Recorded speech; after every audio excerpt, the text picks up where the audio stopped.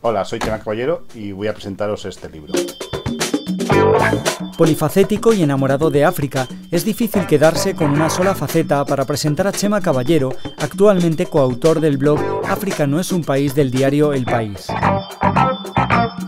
Chema Caballero fue pionero en la rehabilitación de los menores soldados, misionero javeriano en Sierra Leona y ha escrito varios libros de temática africana. El libro es El otro piedra siena de Mia Couto es un autor eh, eh, mozambiqueño y está editado en castellano por Editorial Cobre en la colección Casa África. Son libros subvencionados por, por Casa África. Mia Couto quizás es el, hoy día de los mejores escritores en, lengua portuguesa, quizás el más conocido de, Mozambique y de, y de África eh, lusófona. Él ha trabajado muchos años como periodista, aunque sus primeros estudios son, fueron de medicina, dejó la universidad para dedicarse al periodismo y después estudió biología. Siempre se nota ese, detalle de, la biología en la descripción de los paisajes, de los, del, entorno donde se desenvuelven sus historias. Siempre es difícil encasillar a, a Mia Couto, porque es una persona muy libre que incluso inventa palabras y juega mucho con el léxico él mismo.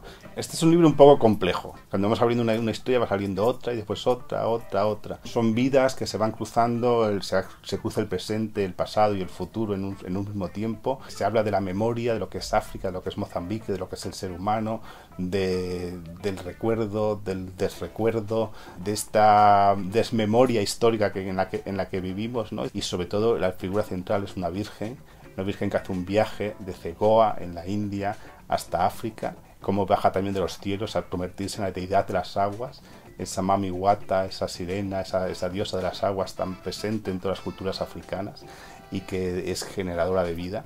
Yo creo que siempre es ese realismo mágico. Le hemos llamado realismo mágico un poco en comparación con lo que es la literatura eh, hispanoamericana, lo que fue el boom del realismo mágico, porque realmente no sabemos cómo definir la literatura africana. Yo creo que esto no es un realismo mágico, es la realidad de, África, la magia, el sueño, los, los, mensajes, todo convive en el mismo espacio. Es realismo africano, si queremos llamarlo así.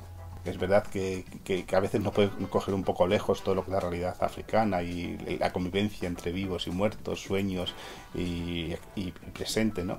Pero yo creo que a pesar de eso es una, historia sobre todo muy emocionante de leer y que te, envuelve y te, y te, atrapa. Sus sueños evocan espíritus que solamente pueden venir de aquí, de África, en los ríos africanos. Lo que más me gusta de este libro es, es esa, esa llamada a, la, a la, memoria, ¿no? A, no, a, no, a no desmemorizarnos o a no no olvidarnos de, que somos lo que somos porque hemos sido lo que fuimos, ¿no? Entonces, quizás como todo eso eh, está muy presente en la novela. Hay una pareja de, afroamericanos que vienen de Estados Unidos, quizás buscando sus orígenes, buscando eh, algo, ni, ni, siquiera ellos lo saben, ¿no? Y cómo no son capaces de enfrentarse a la realidad de, lo, lo, que están viendo, ¿no?